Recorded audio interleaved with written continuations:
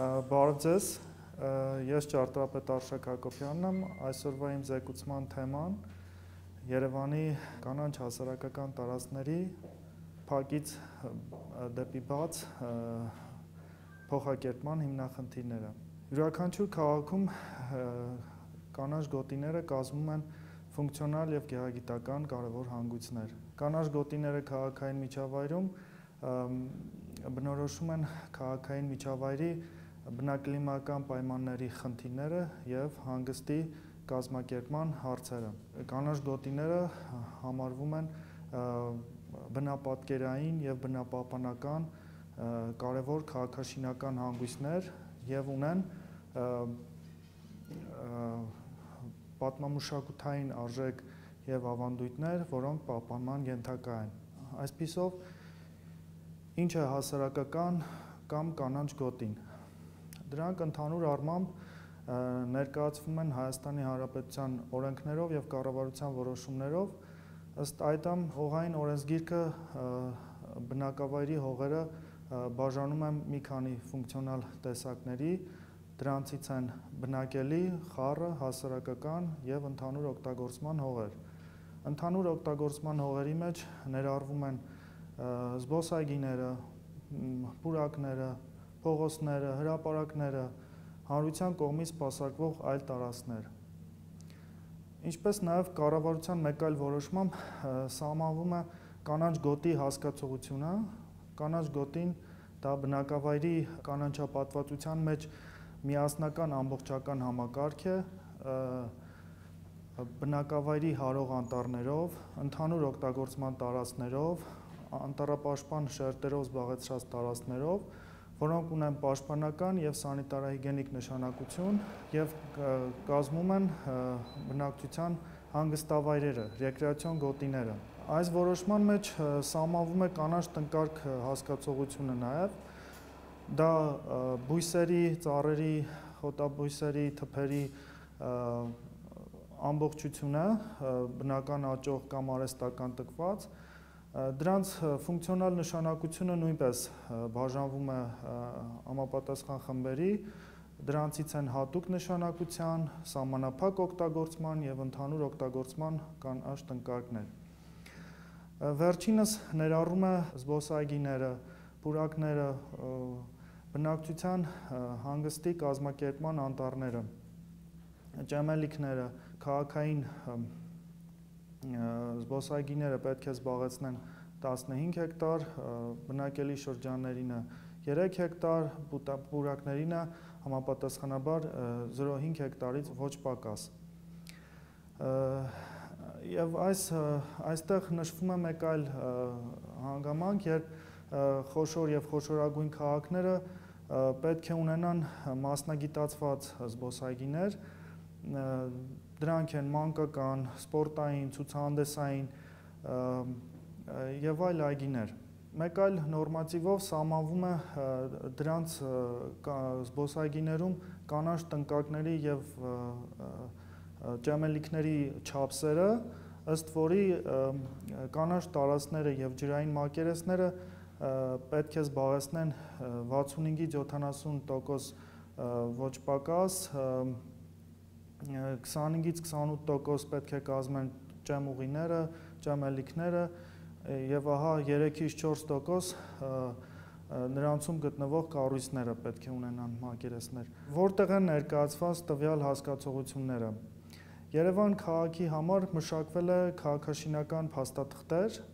դրանցից է Երևանի գլխավոր հատակագիծը, որն ընդունվել է 2005 թվականին ընդհանուր առմամբ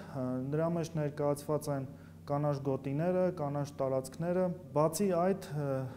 մեկ այլ քաղաքաշինական փաստաթուղթ, որ մշակվել է 2007 թվականին, դա առանձին առանձին վարչական շրջանների հատակագծերն են, որտեղ կանաչ գոտիները ներկայացված է կառուցվածքային հիմնական տար։ Բայց թերի շահագործման, կառավարման, օրենքների եւ նորմերի պատմամշակութային հիմնադրույթների չպահպանման արդյունքում այսօր կանաչ գոտիները հայտնվել են միասնական հատակագծային կապերից դուրս չեն համապատասխանում լանդշաֆտային կազմակերպման եւ հանգստի գոտիների կազմակերպման ժամանակակից պահանջներին։ Ինչպես ցույց է տալիս ուսումնասիրությունները, կանանչ հասարակական տարածքների շուրջ 70%-ից ավելին տեղադրվեցին տարբեր ֆունկցիոնալ նշանակության կառույցներ։ Այս կառույցների հետևանքով նրա բուն հասարակական նշանակության ֆունկցիան նվազեց։ Երևան քաղաքում կանաչ գոտիների հետ կապված առաջացան մի շարք խնդիրներ՝ ոչ նպատակային օգտագործումը, ֆունկցիոնալ ձևախեղումները եւ եւ հետիոտն եւ տրանսպորտային կապը։ Այսպիսով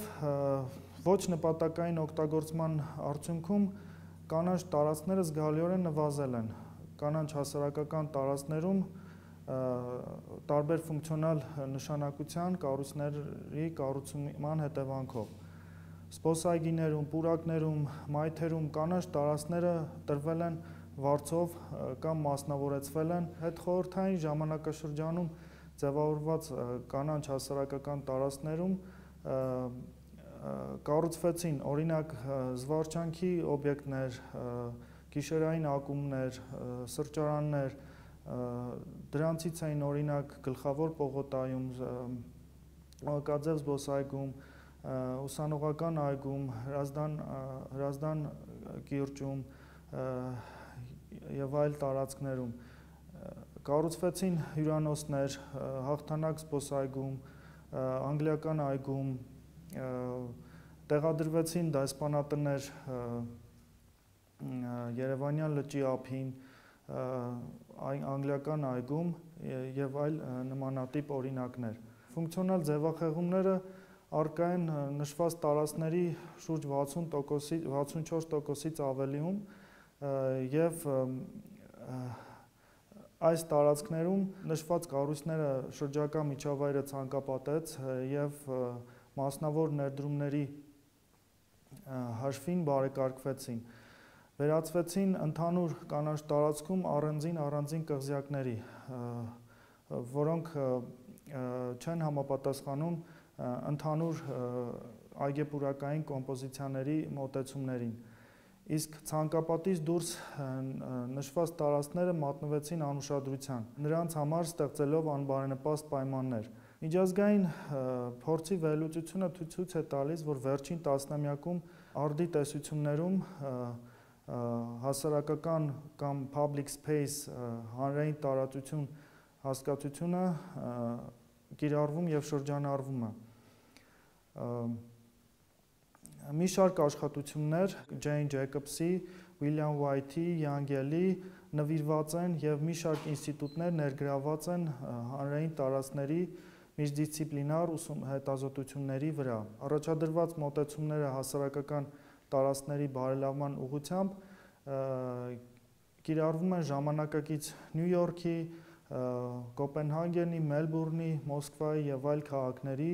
քաղաքաշինական նախագծման եւ ժամանակակից հասարակական տարածքների ձևավորման մեջ։ Կանանչ հասարակական տարածքի ձևավորման հետ կապված կարևորվում է մաչելիության խնդիրը, որի գնահատման հիմքում ընկած է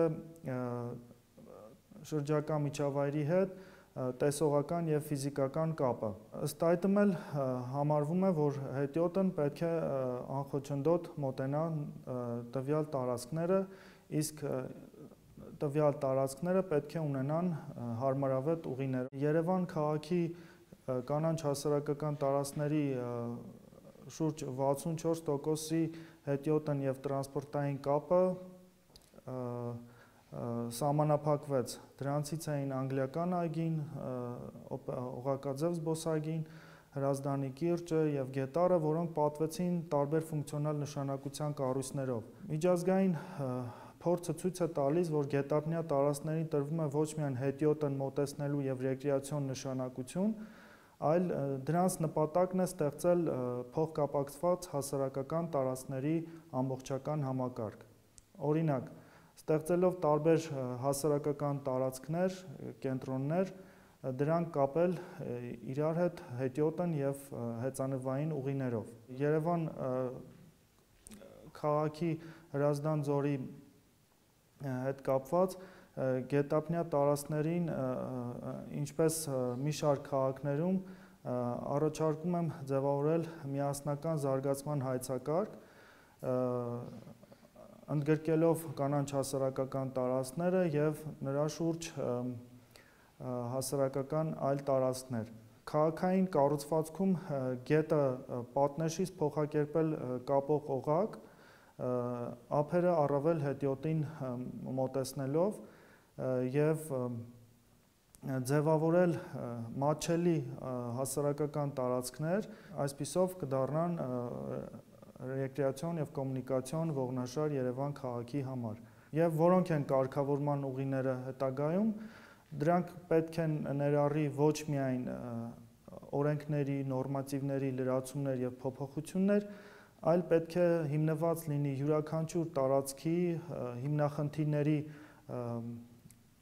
խորքային վերլուծությամբ, հանրային կյանքի եւ տարածքների փոխազդեցությունների վրա,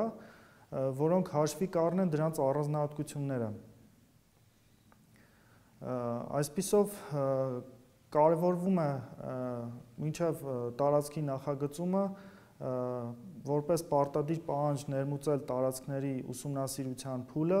որի ներմուծման դեպքում կարծում եմ տարածքները չեն փոխակերպվի։ Մեկ այլ կարևոր պայման է